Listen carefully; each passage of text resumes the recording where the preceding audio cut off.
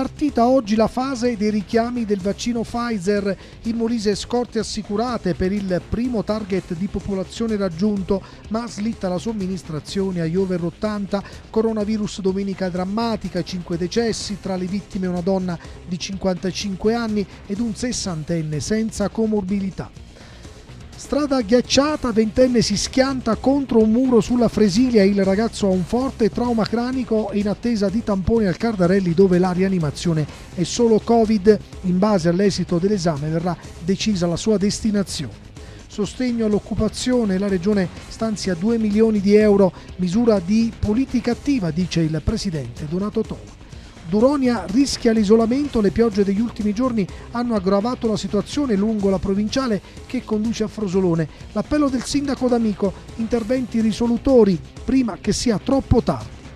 Esce da un discount di Agnone e sale su una panda, ma non è la sua. Il 54enne, ubriaco, è stato fermato dai carabinieri e denunciato per guida in stato d'ebbrezza e per furto dell'auto, sia pure in buona fede. Infine lo sport, calcio, Vasto Girardi KO all'Aragona, Molisane in campo mercoledì, basket Magnolia battuta in casa davanti a Petrucci. Bella realtà le parole del presidente FIP che invoca rispetto per il CONI, Futsal, CLN, Cusmolise, San Ginario carica i suoi per il match di domani a Caporso. Buon pomeriggio, bentrovati con la nostra informazione. Eh, in apertura parliamo di vaccini perché è partita oggi la vera e propria fase dei richiami del vaccino Pfizer, scorte assicurate in Molise per il primo target di popolazione raggiunto. Questa mattina siamo stati al Cardarelli, abbiamo ascoltato le impressioni della coordinatrice della campagna eh, in ospedale. Per i prossimi step però sembrano ormai certi ritardi nella tabella di marcia, soprattutto per eh, gli over 80. Allora sentiamo tutti i particolari dal servizio curato per noi da Rita Iacobucci. Dalla prossima settimana la fornitura tornerà a regime, lo ha confermato Pfizer che ha anche specificato dall'8 al 18 gennaio sono state inviate le fiale previste dal piano di ordinazione. Poi c'è stata la riduzione a causa del riadattamento del sito produttivo belga di Purs. Con la decisione del governo di somministrare 6 dosi anziché 5, Pfizer ha ridotto il numero di fiale, ma non di dosi previste che resta lo stesso. Quello che sta accadendo, hanno dichiarato ancora dalla società farmaceutica statunitense, è frutto di un fraintendimento nel conteggio delle dosi che non è il conteggio delle fiale. Ma il commissario straordinario Arcuri attacca le aziende produttrici di vaccini stanno trattando 27 paesi europei come dei poveracci. Sabato il confronto con i presidenti di regione che hanno chiesto comunicazioni chiare da Roma per poter riprogrammare i rispettivi piani di immunizzazione. Intanto sono in consegna al Molise altre 1170 dosi di siero Pfizer e le prime 300 di quello Moderna. Iniziata il 4 gennaio la campagna per operatori sanitari e personale e ospiti di RSA e case di riposo vede adesso la partenza vera della fase dei richiami in tutta la regione. 100 quelli da somministrare al Cardarelli per la prima giornata sul totale dei 1600 effettuati nell'ospedale regionale. Alle 11 la metà era stata già somministrata. Abbiamo fatto un richiamo diciamo, del Vaccine Day il 17, invece oggi inizia proprio la fase dei richiami di tutte le persone che si sono sottoposte al vaccino. Abbiamo preparato un, tipo una piccola modulistica per il richiamo dove facciamo un'indagine se si è avuto febbre, se si è avuto dolori e a questo momento non risultano diciamo, reazioni avverse né al primo e né ai 30 che hanno già fatto la dose di richiamo. I richiami non sono destinati a subire intoppi per via del caos nelle forniture perché nei freezer del San Timoteo e del Cardarelli ci sono scorte a sufficienza, ma per le altre categorie sono oramai certi i ritardi in tutta Italia. Anche AstraZeneca, il cui vaccino non è ancora autorizzato, ha comunicato comunque una riduzione del 60% nelle consegne e così la vaccinazione degli over 80 slitta di almeno 4 settimane. L'intervista integrale alla coordinatrice della campagna vaccinale del eh, Cardarelli, Antonietta Licianci, andrà in onda questa sera alle 21 nella puntata di Fuoco Incrociato dedicata proprio alle ultime novità in tema di vaccini. Tra gli altri contributi ascolteremo l'esperienza di chi ha già effettuato da una settimana anche la seconda dose, la DG Salute della Regione Gallo ed il Presidente della Regione Donato eh, Toma. E intanto ieri giornata drammatica al Cardarelli, domenica drammatica al Cardarelli con 5 decessi, 2 in terapia intensiva, 3 in malattie infettive, tra le vittime una donna di 55 anni di Montenero di Bisaccia ed un sessantenne di Colle al Volturno senza comorbilità. Sentite.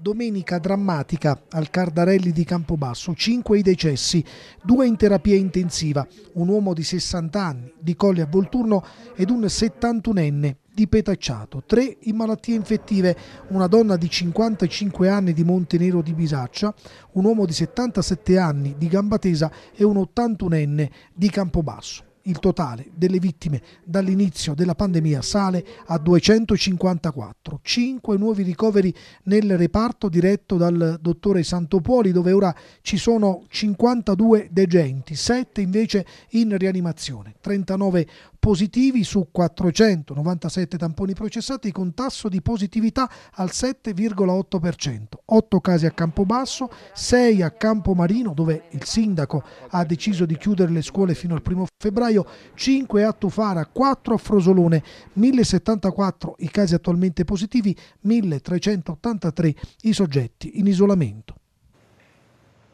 Ed a seguito dei casi Covid registrati nei giorni scorsi al Gemelli Molise, l'ospedale ha avviato come da protocollo le attività di tracciamento sia sui degenti che su tutto il personale. Dai controlli effettuati sono emersi nuovi positivi un paziente e sette dipendenti, tutti della stessa area, i quali sono stati immediatamente posti in quarantena già nel weekend appena trascorso. I controlli proseguiranno ogni 72 ore, l'ospedale garantirà in piena sicurezza il ricovero per tutti i pazienti affetti da patologie urgenti e non eh, differibili, dunque altri otto eh, positivi, un paziente e sette dipendenti al Gemelli Molise.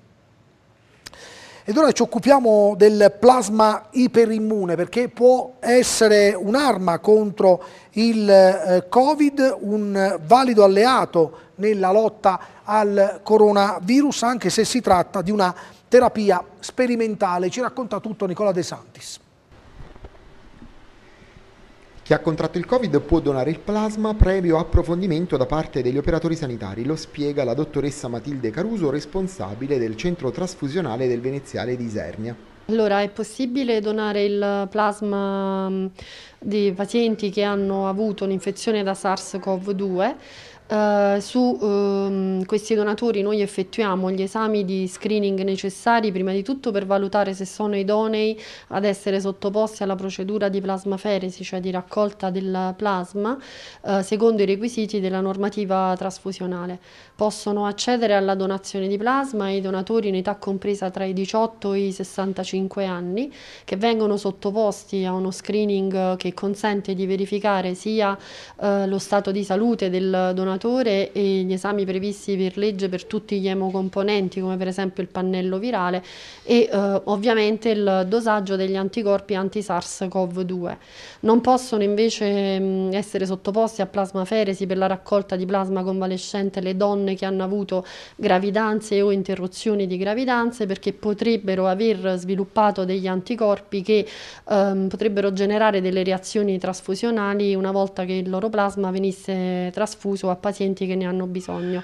La raccolta del plasma sta avvenendo nelle tre strutture sanitarie di Campobasso, Isernia e Termoli. Il plasma, dopo il trattamento finalizzato a neutralizzare la carica virale, viene poi smistato nei reparti che ne fanno richiesta. Uh, Mimmolise siamo partiti da poco, siamo attivi su tutti e tre i, i presidi, uh, su Isernia e Termoli, la raccolta viene fatta al centro trasfusionale, al momento invece la raccolta di plasma uh, su Campobasso viene effettuata presso la sede regionale Avis.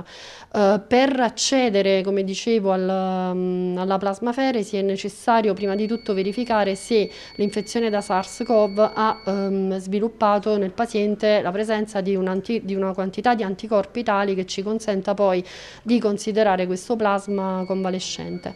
Una volta raccolto e congelato secondo la normativa vigente, questo plasma viene poi sottoposto a un trattamento di inattivazione virale presso il centro trasfusionale di Termoli e um, viene poi ehm, consegnato al clinico che lo richiede. Al momento le richieste maggiori sono quelle dell'unità di terapia intensiva di Campobasso e eh, cominciamo a trattare anche i pazienti mh, ricoverati presso il reparto di malattie infettive. Pur essendo ancora sperimentale come terapia, il plasma iperimmune può essere un valido alleato nella lotta al coronavirus. È però necessario uno studio epidemiologico per verificare la validità della terapia. Il plasma iperimmune può rappresentare una importante risorsa nella terapia del Covid, sebbene è necessario eh, precisare, non per un atteggiamento di scetticismo ma semplicemente prudenziale, che ehm, il plasma iperimmune è da considerarsi al momento una terapia eh, sperimentale e ancora non sono conclusivi i dati ehm, degli studi attualmente eh, in opera. Eh, la speranza per il Molise è che una volta partiti si possa comunque disegnare uno studio epidemiologico regionale, eh, magari in collaborazione con centri che già sono partiti diciamo, con uh, questi studi, in maniera tale da allargare sempre di più gli orizzonti, ritenendo che, ehm, sebbene, ripeto, bisogna essere prudenti, eh, eh, il plasma possa rappresentare davvero una risorsa per il trattamento delle infezioni da SARS-CoV-2. Siamo alla cronaca, grave incidente questa mattina sulla Fresilia, strada che collega l'area di Frosolone alla Bifernina, probabilmente a causa del fondo stradale ghiacciato, un ragazzo di 20 anni proveniente da Torrella del Sagno ha perso il controllo dell'auto schiantandosi contro il muro che delimita la carreggiata. Il SUV, un eh, Toyota RAV4, è andato completamente distrutto, necessario l'intervento dei vigili del fuoco per estrarre il, fe il ferito dalle lamiere contorte dell'auto. Il ventenne è stato eh, trasportato al Cardarelli dal personale della postazione 118 di Frosolone per un politrauma. Le sue condizioni sono definite serie dai medici dell'ospedale. Attualmente in attesa dell'esito del tampone per il ricovero in rianimazione a Campobasso non può stare perché la rianimazione del Cardarelli è dedicata al Covid. Isernia non lo ha preso in carico perché i posti di rianimazione sono tutti occupati. Per il suo trasferimento si attende dunque la disponibilità dalle strutture sanitarie delle province limitrofe o delle strutture private presenti sul territorio. Ed ora cambiamo argomento, torneremo più avanti alla cronaca, occupiamoci di sostegno all'occupazione perché la Regione stanzia 2 milioni di euro, misura di politica attiva, dice con soddisfazione il Presidente Donato Toma. Sentite. L'intervento a sostegno dell'occupazione messo in campo dal Presidente della Regione Donato Toma riguarda l'inserimento o il reinserimento nel mercato del lavoro mediante interventi formativi e un'esperienza di lavoro guidata, work experience, presso le imprese del territorio disposte ad ospitare all'interno delle proprie strutture gli allievi in formazione. L'avviso pubblicato oggi prevede risorse pari a 2 milioni e 237 mila euro a valere sul POR Molise, Fondo Sociale Europeo 2014-2020. È rivolto agli organismi di formazione accreditati dalla Regione Molise, mentre i destinatari sono le persone disoccupate, inoccupate, beneficiarie non di sostegno al reddito di età compresa tra i 18 e i 65 anni. L'iniziativa ha l'obiettivo di creare un collegamento tra formazione e azienda, fornendo al disoccupato un contatto diretto con la realtà imprenditoriale locale. Si tratta di una misura di politica attiva, osserva il Presidente Toma, per creare condizioni idonee per favorire l'inserimento lavorativo e l'occupazione di quei lavoratori che devono fare i conti, purtroppo, con una disoccupazione di lunga durata. La crisi pandemica, aggiunge il governatore, ha prodotto ripercussioni negative anche sul fronte dell'occupazione, peggiorandone gli indicatori. La Regione punta su segmenti innovativi quali green economy, servizi alla persona, sociosanitari, valorizzazione del patrimonio culturale, tecnologie dell'informazione e comunicazione. Le domande dovranno essere compilate per via telematica tramite la procedura informativa MOSEM a partire dalle 8 del giorno 25 febbraio 2021. Duronia rischia l'isolamento, le piogge degli ultimi giorni hanno aggravato la situazione lungo la provinciale che eh, conduce a Frosolone. L'appello del sindaco D'Amico, interventi risolutori prima che sia troppo tardi, lo ha intervistato Nicola De Santis, sentite. La provinciale tra Duronia e Molise è già franata. La provinciale tra Duronia e Frosolone sta franando e la situazione a causa delle piogge degli ultimi giorni si sta ulteriormente aggravando. Il sindaco di Duronia, Michelino D'Amico, denuncia senza interventi risolutivi rischiamo il totale isolamento. I danni sono mm, diciamo, eh, buche, avvallamenti, smottamenti, specialmente eh, nella borgata Santa Maria eh, dove c'è il ponte. E lì in realtà dopo varie segnalazioni dell'amministrazione comunale circa due anni fa furono fatti degli interventi ma non risolutivi vennero regimentate le acque e venne asfalta, vennero asfaltati i tratti, ma eh, non fu fatto un intervento risolutivo perché là c'è un dissesto idrogeologico in atto e se non si realizzano delle palificazioni il problema non si risolve. Certo i disagi sono enormi perché l'unica strada che collega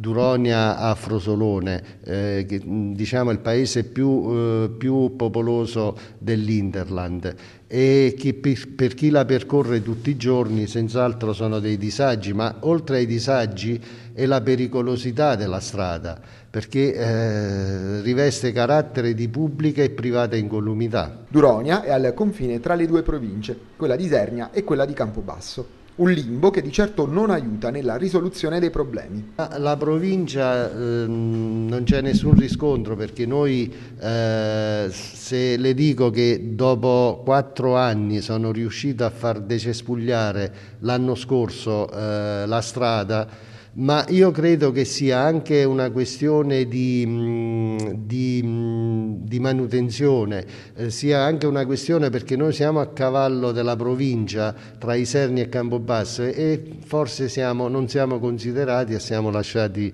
abbandonati a noi stessi. Insomma. Secondo me si dovrebbe fare una programmazione seria, specialmente eh, dove eh, ci sono le zone rosse, le, R, eh, le R2 e le R4 e programmare degli interventi eh, diciamo, che vanno sicuramente a risolvere le situazioni.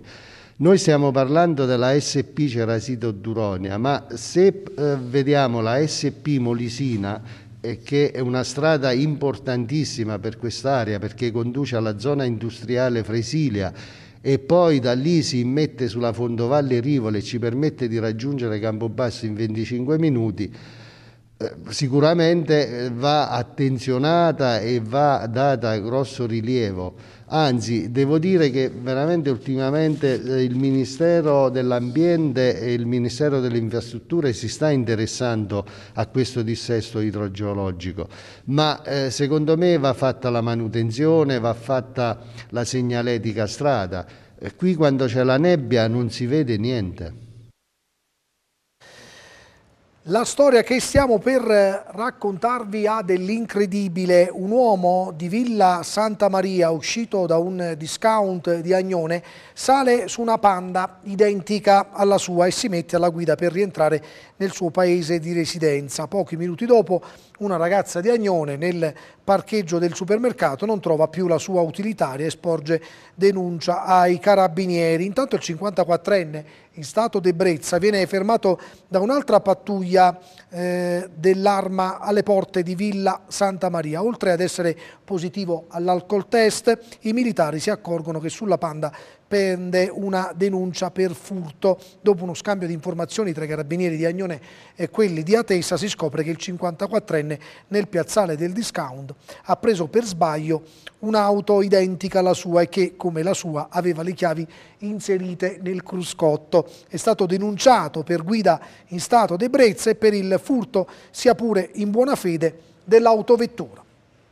Chiudiamo Parlando di eh, sanità, dopo l'incontro tra i parlamentari Ortis e Testamento con il Ministro della Salute Speranza, il Movimento 5 Stelle Molisano torna a chiedere interventi immediati al governo. Per il Molise serve un decreto ad hoc, dicono, e fondi per il rientro dal eh, disavanzo. C'è stata una manifestazione a Larino davanti al Vietri, c'erano gli attivisti di Termoli, sentite Andrea Vertolo.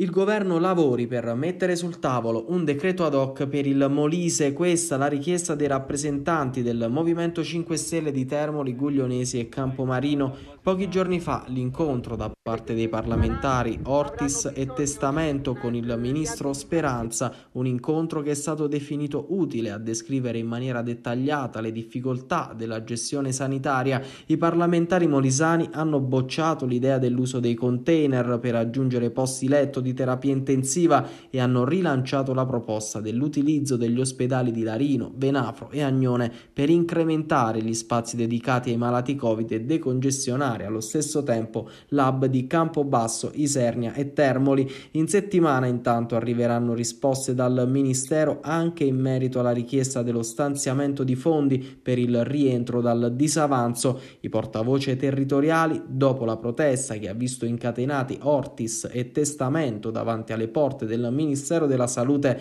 adesso pretendono soluzioni concrete e si rivolgono proprio al governo nel quale il Movimento 5 Stelle è in maggioranza. La salute dei cittadini prima della politica e prima degli interessi personali, dicono. Poi l'affondo, se essere forza di governo non ci sarà di aiuto, continueremo a lottare perché il diritto alla salute e ad una cura dignitosa non è in svendita. Bene, ora vediamo che tempo farà domani sul Molise con il nostro meteo.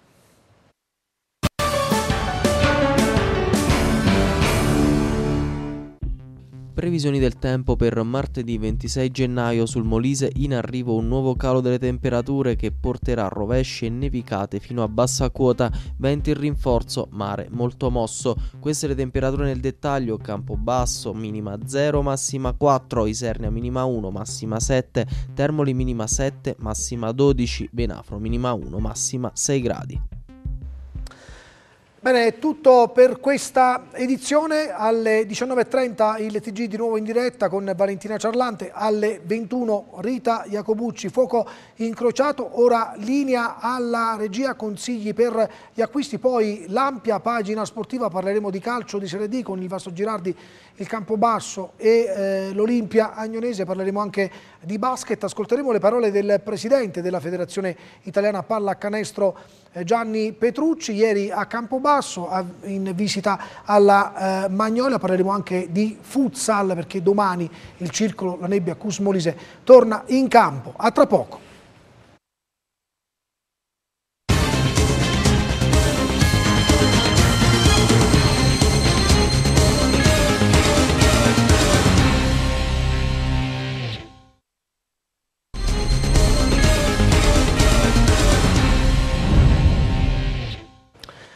Lo sport, il calcio di Serie D, il raggruppamento F, tredicesima giornata caratterizzata da due anticipi, Campobasso Real Giulianova 0-0 e Olimpia Agnonese Albalonga 1-1, tre rinvii, Matese Porto Sant'Elpidio, Monte Giorgio eh, Pineto e San Nicolò Tolentino. E poi le altre gare con i risultati che vedete eh, in schermata. La nuova Classifica in testa il Castelnuovo con 25 punti, Rieti 24, Campobasso 21, San Nicolò 20 insieme all'Albalonga, Vasto Girardi 16, via via tutte le altre formazioni, l'Olimpia Agnonese sale a quota 3. Vasto Girardi KO, come avete visto anche dalla nostra grafica ieri all'Aragona di Vasto, è finita 3-1 eh, per gli Adriatici, agli altomolisani non basta, l'attaccante Mercai do Dopo sette giornate la Vastese torna alla vittoria sale a quota 13 in classifica. I locali con un netto 3-1 regolano un vasto Girardi che era in un ottimo momento e che si ferma dopo una lunga striscia di risultati utili. Con le immagini di Edoardo Daddario passiamo alla cronaca della partita. Nei biancorossi cambio di modulo per mister Daddario che schiera un 4-4-2, assenti Martiniello e Sorgente per infortunio di Prischio per squalifica. In panchina gli ultimi arrivati Ciao Fardini, Diarra e Mamonà. Negli ospiti Prosperi schiera un 3-4-2-1 con l'ex Virtus Vasto Donatelli che va in panca. Dopo le prime iniziali fasi di studio, la prima occasione per i padroni di casa, all'undicesimo soli meno la piazza con il piede meno favorevole e la mette al lato di un soffio. Pressione alta dei locali che al quattordicesimo passano. Martinez spalle alla porta in acrobazia batte guerra per l'1 a 0. Questo il rallenti del bel gesto tecnico dell'attaccante biancorosso. Al sedicesimo Bernardi trova un gol di testa di rara bellezza dopo una grande torsione. Il direttore di gara annulla per una presunta spinta. Al ventesimo punizione per i molisani dalla distanza di Rienzo si distende e devia in angolo. Al venticinquesimo Mercai protegge un pallone e illumina per guida. Il numero 10 converge in aria e viene toccato dalle noci. Questo il contatto per l'arbitro non ci sono dubbi, assegna il penalty. Sul dischetto va il numero 9 albanese che spiazza l'estremo biancorosso e fa 1 a 1. Al 37 contatto dubbio in area molisana, Tartarone lascia correre e ferma il gioco per un presunto fuorigioco di Bernardi e questa l'ultima azione del primo tempo. Nella ripresa i biancorossi partono subito forte, dopo appena 4 minuti trovano il gol del vantaggio con le noci. Bravo il numero 7 a raccogliere un traversone proveniente dalla sinistra e a battere guerra per il 2-1. Questa la conclusione a rallenti che entra nonostante una deviazione della difesa molisana. Al 34esimo Di Filippo recupera un pallone dopo un pressing asfissiante e converge in aria. Il difensore viene toccato, questo il contatto, l'arbitro assegna il penalty. Sul dischetto va il neoentrato Diarra che con freddezza fa 3 a 1, partita in discesa ora per i locali. Da qui a fine gara non succede altro, la Vastese torna grande nella propria tana dopo una partita grintosa e attenta. I molisani pagano dazio all'Aragona ma escono dal terreno di gioco a testa alta. Mister Daddario, al di là del risultato che era importante, abbiamo visto finalmente una Vastese con la giusta intensità e cattiveria agonistica. Ma, eh, certamente c'è stato, la squadra è stata molto compatta, è stata molto brava a eh, togliere le fonti di gioco loro e nello stesso tempo è stata molto brava in difesa a reggere l'urto dei tre attaccanti che erano veramente bravi. Sono arrivati dei giocatori, a posto così la squadra? Questo siamo sempre in costruzione, eh, pian piano cerchiamo di arrivare, sono arrivati dei giovani, non sono arrivati dei giocatori, sono arrivati dei giovani ed è arrivato Diarra che è comunque un giovane, è arrivato un 99, un 2002 e eh, un 2000 con eh, Barbarossa, quindi eh, giocatori eh, è eh, un termine improbabile in questo momento. Importante vincere nonostante le diverse assenze e defezioni, ma c'è subito Uh, un bivio importante con il notarisco. Eh, questo ci tocca e quindi ora assimiliamo questa, questa, prestazione e da domani ci rimettiamo al lavoro per portarci poi a notarisco mercoledì. Mister Prosperi arriva una sconfitta dopo un buon campionato della sua squadra, avete affrontato una Vastese eh, molto grintosa, forse è proprio la grinta che vi è mancata. Sì, è una Vastese, detto i tuoi colleghi, che ha meritato di vincere, è stata più determinata, più, più cattiva, più, più, presente e, ripeto, ha meritato di vincere. C'è da dire che quando ripartite con i vostri uomini di qualità, mi vengono in mente Guida e Mercai, siete sempre pericolosi? Sì, sì, questo sicuramente è una squadra, abbiamo determinate caratteristiche, è normale che non non abbiamo fatto oggi tutto quello che di solito magari facciamo, ma ripeto, può succedere, abbiamo sbagliato tutti, bisogna semplicemente riprendere a lavorare e continuare nel percorso intrapreso. Soddisfatti di questo campionato fino a questo momento? Sì, ma non, non, non ci dà nulla in questo momento, noi dobbiamo raggiungere l'obiettivo il prima possibile, e così facciamo fatica a raggiungerlo, dobbiamo tornare a essere quelli che siamo stati fino all'altro giorno, ma Oh, ripeto, una battuta d'arresto così ci può stare, ci può fare anche bene, dobbiamo trarre insegnamento da questa battuta d'arresto. Il Campobasso frena, non va oltre lo 0-0 contro il Giulianova nell'anticipo di sabato pomeriggio. Cos'è mancato? Lo abbiamo chiesto a Mirko Cudini, intervistato dal collega Franco De Santis. Sentite.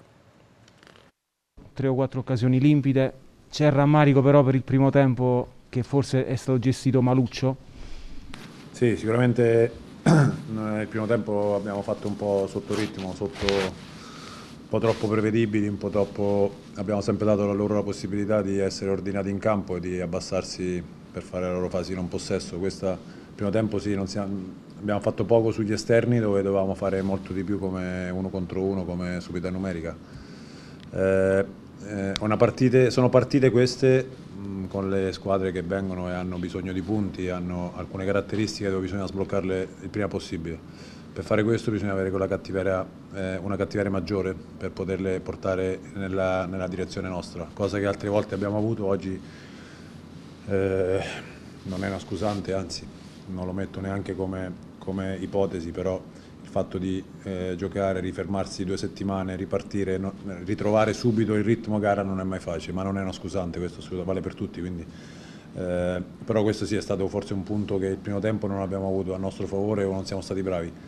Secondo tempo sì, abbiamo guadagnato campo, loro sono abbassati ancora di più, abbiamo avuto ancora più possesso, abbiamo creato qualche situazione per poterla sbloccare, non siamo stati pulitissimi, mm, queste, queste partite qua bisogna essere un po' più un po' più lucidi gli ultimi 15 metri dove la zampata può essere determinante per poterla sbloccare come è capitato anche in passato.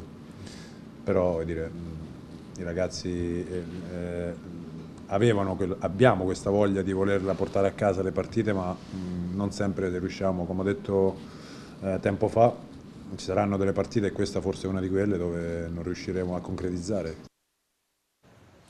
Contro l'Alba Longa un punto importantissimo, questa è l'analisi del tecnico dell'Olimpia Agnonese Stefano Senigagliesi, sentite. Ci ha pensato Maniscalchi al minuto 48 a tenere a galla l'Olimpia Agnonese una buona Olimpia Agnonese al netto dei problemi post-Covid, al cospetto di una delle migliori formazioni del raggruppamento, l'Alba Longa. Secondo me è un ottimo pari perché figlio comunque di una situazione che si è prolungata da tantissimo tempo, probabilmente esternamente non si capisce che periodo abbiamo passato e quanto è stata dura comunque gestire tutta la situazione Covid, le difficoltà ad allenarci, ad avere un gruppo completo. Noi sono 12 giorni che siamo al completo e onestamente sono tanto dispiaciuto per la partita di Domenica Rieti perché non, non l'avremmo mai dovuta giocare. Ehm, non è corretto mandare una squadra alle 12 e dirgli che mentre i giocatori erano andati a casa richiamarli e che dovevamo andare a giocare a Rieti. Quindi non è stata una partita e soprattutto tornavamo dopo due mesi e mezzo. Ieri e oggi di nuovo in campo perché l'Agnonese deve recuperare il tempo perduto e migliorare la condizione atletica come dimostra l'esperto allenatore dei Granata. Il problema è veramente fisico. Io lo so che non vi rendete conto, ma stare 30 giorni a casa, non solo non allenarsi, ma chiusi in una stanza, ritornare e dover giocare a questi ritmi, credo sia difficile per chiunque. E quindi credo che per 60 minuti la partita sia stata equilibrata e abbiamo fatto una buona gara. Poi piano piano, di 5 minuti in 5 minuti, abbiamo perso fisicità. La testa è rivolta al match di domani, ancora in casa, al Civitelle contro un'altra top del girone, la Recanatese. Senigalesi, bravo a ricompattare un gruppo che la società ha cambiato tre volte, parla del rapporto con il club, della fiducia che c'è nei suoi confronti e di un rapporto speciale con i ragazzi.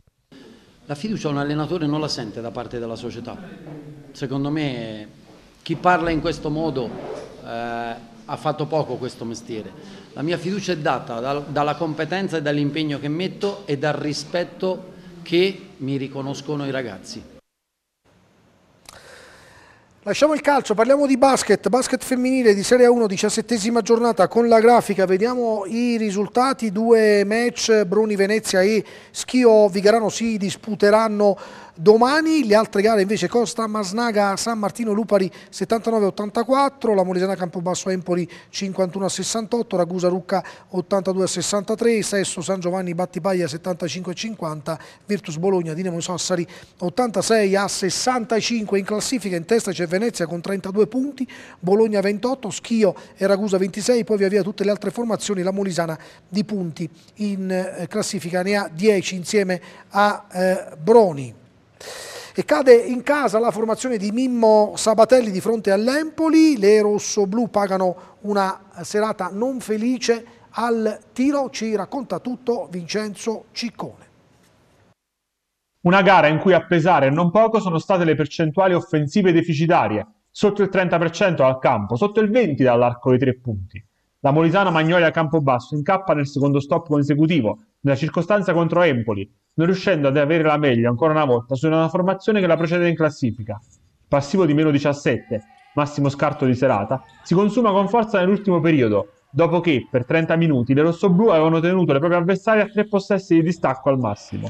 Eppure in avvio c'è equilibrio con le campobassane che mettono la testa avanti anche in due circostanze, con la tripla di Voita ed il tiro libero di Ostarello, ma da quel momento Empoli cambia l'inerzia della contesa e con alcuni strappi riesce ad indirizzare l'andamento. Sotto di 8 al quinto, 9 a 17, la formazione rossoblù ha due possessi di svantaggio al decimo, 17 a 23. Empoli continua a fuggire nel secondo periodo, arrivando al più 13 del 34 a 21 registrato al quindicesimo. All'intervallo lungo, le toscane vanno sul 39-30, con 18 punti realizzati da Smalls. Nel terzo quarto, nonostante una tripla in avvio di Gorini, l'Empoli riesce a tenere dritta la barra di navigazione ed arriva al più 8, 45 a 37 del 25 che diventa più 10 al 30 52 a 42. Nell'ultimo quarto, poi, l'attacco campobassano si impantana. Empoli ne approfitta e gira a metà periodo sul più 13, 61 a 48, chiudendo poi su 68 a 51, lasciando le rossoblù a riflettere in vista di una settimana che porterà con sé due sfide delicate in successione, mercoledì il recupero a Sassari e sabato in casa del fanalino di coda a Battipagna. E ora le eh, sensazioni, le dichiarazioni di Gianni Petrucci, numero uno della Federazione Italiana Pallacanestro, Franco Presutti. Presidente, oggi a Campobasso per seguire questa bella realtà del centro-sud, della Magnolia. Beh, una bella realtà, bel palazzetto fatto con grande impegno e dal comune e dalla famosa dottoressa Ferro. Una partita anche per rendere atto sia alla Molisana che a Empoli che da diversi anni onora il basket italiano. Lo dovevamo sia io che il vicepresidente vicario e quindi saluto con grande piacere pur con una giornata piena di pioggia. Ecco, un peccato Presidente eh, dover giocare queste gare senza il pubblico. L'abbiamo fatto presente al governo, ma la situazione della pandemia è tale che non possiamo alzare la voce più di tanto. Tutti gli sport in tutta Europa, in tante parti del mondo, devono andare avanti senza pubblico, speriamo di partire quanto prima. Abbiamo preso una delibera per tutte le nostre realtà a livello nazionale e anche regionale di poter fare almeno allenamento, sperando di ripartire poi con gli altri campionati entro il mese di marzo. Speriamo, non è facile, però ce la stiamo mettendo tutta. Prima citava il direttore generale della Magnolia, Rossella Ferro, eh, prima volta per questa regione un componente molisano del Consiglio federale. E sono contento, sono contento perché l'ho conosciuta da, da qualche anno e ho visto che è una persona positiva, una grande azienda con ora diciamo, l'industria italiana nel mondo, grandi passi da giganti. Sono contento perché è una grande famiglia, una persona straordinaria che ha già partecipato al Consiglio federale, ne avremo un altro venerdì e diciamo che è la degna così, raggiungimento di un importante incarico in federazione che fa parte del governo federale. Ecco, lei sta lavorando molto bene, eh, nonostante le grandi difficoltà legate proprio alla pandemia. Sì, abbiamo anche detto al governo, al ministro che dare questi soldi a pioggia non aiutano, c'è una proporzione e sproporzione dei soldi dati a pioggia e alle società 30% in meno di questi soldi dati a pioggia. Adesso vediamo come va a finire questa querel con il CONI, mercoledì c'è l'esecutivo del CIO che dovrà prendere una decisione, io sono diciamo così realista ma anche un po' ottimista che si risolverà anche il problema per il CONI della completa autonomia, sono stato 14 anni presidente e quindi sto tifando sfacciatamente per il CONI e per Malagò non tanto sfacciatamente quanto realmente perché il CONI merita autonomia e rispetto. Lasciamo il basket, occupiamoci di futsal di Serie 2, gara di recupero domani per il circolo La Nebbia Cus Molise che sarà atteso dal Capurso. I motivi della vigilia nelle sensazioni del tecnico Marco Sanginario. Una sfida non semplice, al di là della posizione in classifica dell'avversaria. Marco Sanginario, tecnico del CLN Cusmolise, è chiaro coi suoi in vista del match recupero sul campo del Capurso ultimo della classe. Sì, partita molto importante, eh, non ci facciamo sicuramente ingannare dalla, dalla, classifica, sappiamo che il Capurso è una squadra abbastanza quadrata, che ha fatto eh, buon mercato eh, a dicembre, è una squadra rinnovata, chiunque ha trovato difficoltà sul proprio rettangolo di gioco, vedi Manfredoni, ma la stessa Tombesi, al di là del risultato, e quindi sappiamo di affrontare una squadra difficile, una partita assolutamente non facile. Quanto all'organico, il punto della situazione è concreto. Credo ci saranno tutti a disposizione, anche se abbiamo qualche piccolo acciacco, eh, tranne ovviamente Roman, il nostro portiere titolare, che ne avrà ancora per un po'. Eh, ci arriviamo mentalmente bene perché vediamo da un filotto di vittorie consecutive ma con una costante nelle nostre vittorie che si chiama sacrificio. E sacrificio e sofferenza in ogni partita. Peraltro, la gara di domani sarà il prologo alla sfida di sabato a Manfredonia. Match importante ma non decisivo, anche a fronte dell'obiettivo di base del team. Non credo perché quest'anno più dell'anno scorso è un campionato molto molto livellato, non ci, stanno, non ci sono eh, partite scontate a priori e quindi ogni squadra può vincere e può perdere eh, con chiunque. Certo sono punti importanti, eh, punti importantissimi perché valgono doppio, ma eh, ripeto come ho detto anche a qualche altro suo collega, l'obiettivo nostro non è quello di vincere il campionato. Eh, è chiaro che nello spogliatoio non è che ci poniamo degli obiettivi, giochiamo per vincere tutte le, le partite. In realtà quella di Manfredonia è una sfida eh, più che altro diciamo, eh, nostra, nostra fatta di spogliatoio perché l'unico tempo che abbiamo sbagliato è stato il secondo tempo di Manfredonia dove veramente abbiamo regalato eh, delle, degli errori madornali eh, alla squadra avversaria, quindi c'è più che altro voglia di riscatto. Ancora il futsal, ma di Serie B, recupero di campionato. Domani sera per lo Sporting Venafro, i bianconeri di Di Padua dovranno affrontare con calcio d'inizio alle ore 19 il Diaz Bisceglie per il recupero della settima giornata eh, per il club, del, l'obiettivo del club del presidente Primavera è quello di puntare a centrare il primo esploit stagionale, rinviato invece il match della Chaminade con il futsal Bitonto per le positività al coronavirus nei due gruppi squadra. Chiudiamo con la pallavolo di Serie B1 femminile, il raggruppamento e la prima giornata rinviata al 27 febbraio Castellammare eh, Cerignola, poi Noci, Fiamma Torrese 3-1 e la sconfitta casalinga dell'Europea 92 Isernia contro Arzano. La classifica dopo una sola giornata è piuttosto chiara come vedete in queste eh, immagini c'è Arzano a quota 3 in Vete non Aprilia. Bene, è eh, tutto anche con la pagina sportiva, grazie per averci scelto e buona continuazione con la nostra programmazione. Arrivederci.